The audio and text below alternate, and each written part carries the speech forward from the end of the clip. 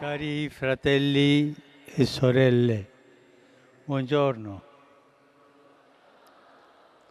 L'odierna liturgia ci presenta le ultime battute del discorso missionario del capitolo decimo del Vangelo di Matteo, con il quale Gesù istruisce i dodici apostoli nel momento in cui per la prima volta li invia in missione nei villaggi della Galilea e della Giudea. In questa parte finale Gesù sottolinea due aspetti essenziali per la vita del discepolo missionario. Il primo, che il suo legame con Gesù è più forte di qualunque altro legame.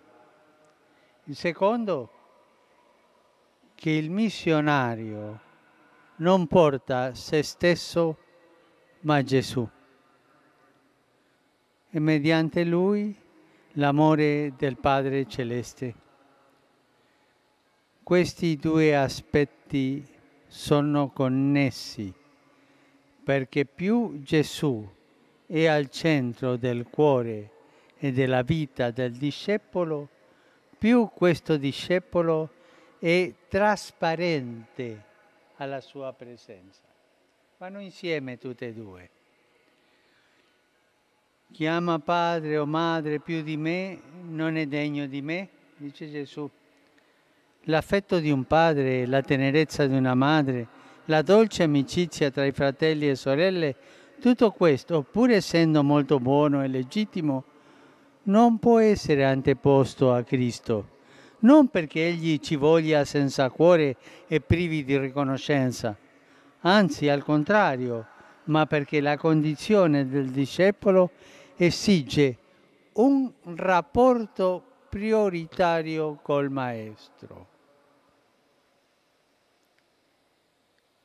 Qualsiasi discepolo, sia un laico, una laica, un sacerdote, un vescovo, il rapporto prioritario.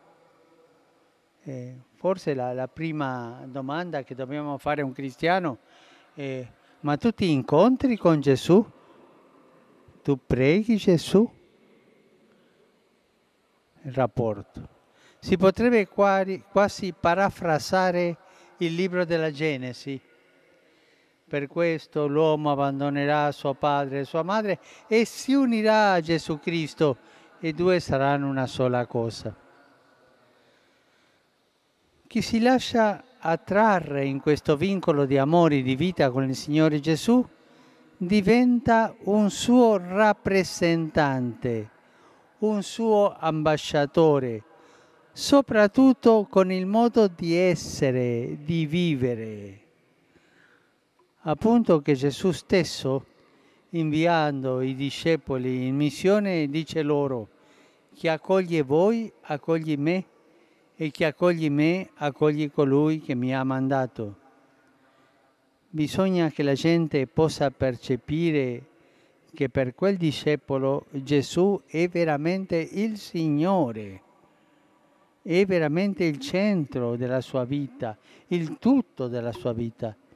Non importa se poi, come ogni persona umana, ha i suoi limiti, anche i suoi sbagli, purché abbia l'umiltà di riconoscerli L'importante è che non abbia il cuore doppio e questo è pericoloso. Io sono cristiano, sono discepolo di Gesù, sono sacerdote, sono vescovo, ma ho il, il cuore doppio. No, questo non va. Non deve avere il cuore doppio, ma il cuore semplice, unito, che non tenga i piedi in due scarpe, ma sia onesto con se stesso e con gli altri. La doppiezza non è cristiana. Per questo Gesù prega il Padre affinché i discepoli non cadano nello spirito del mondo. O sei con Gesù, con lo spirito di Gesù, o sei con lo spirito del mondo. E qui la nostra esperienza di sacerdoti ci insegna una cosa molto bella una cosa molto importante. E proprio questa accoglienza del santo popolo fedele di Dio è proprio quel bicchiere d'acqua fresca del quale parla il Signore oggi nel Vangelo, dato con fede affettuosa, che ti aiuta ad essere un buon prete. C'è una reciprocità anche nella missione. Se tu lasci tutto per Gesù, la gente riconosce in te il Signore, ma nello stesso tempo ti aiuta a convertirti ogni giorno a Lui, a rinnovarti e purificarti dai compromessi e a superare le tentazioni. Quanto più un sacerdote è vicino al popolo di Dio, tanto più si sentirà prossimo a Gesù. E quanto più un sacerdote è vicino a Gesù, tanto più si sentirà prossimo al popolo di Dio. La Vergine Maria ha sperimentato in prima persona che cosa significa amare Gesù distaccandosi da se stessa, dando un nuovo senso ai legami familiari, a partire dalla fede in Lui. Con la sua materna intercessione ci aiuti ad essere liberi e lieti missionari del Vangelo.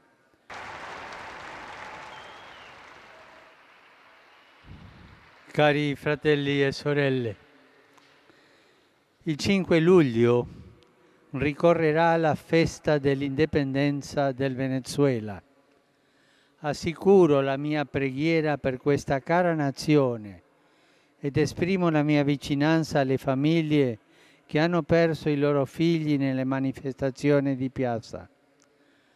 Faccio appello affinché si ponga fine alla violenza e si trovi una soluzione pacifica e democratica alla crisi.